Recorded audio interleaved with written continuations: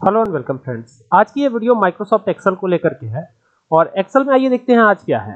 यहाँ पर एक्सेल में देख सकते हैं, यहाँ एम्प्लॉय कोड लिखा हुआ है, ये एम्प्लॉय का नेम है और इनकी सैलरीज है। तो सैलरीज अलग अलग दी गई हैं, ठीक है? और यहाँ पे एम्प्लॉय कोड भी आपको अलग अलग नज़र आ रहे होंगे।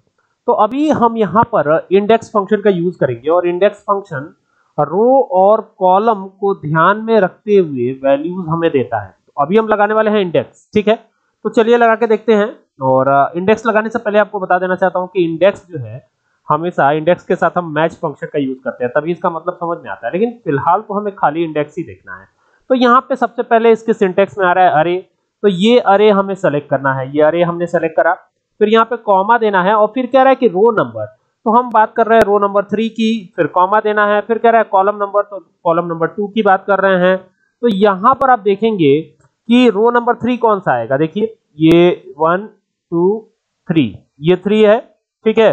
और कॉलम नंबर टू है तो ये वन और ये टू यानी कि ये श्याम रिटर्न करेगा, हमें तो एंटर करेंगे तो यहाँ पे देख सकते हैं ये श्याम रिटर्न कर रहा है। लेकिन यहाँ पर अगर हम चेंज करते हैं, जैसे मान लीजिए, यहाँ पे ये रो नंबर थ्री था रो नंबर फोर कर देंगे तो देखिए यहाँ पे रो नंबर फोर में क्या आ रहा है?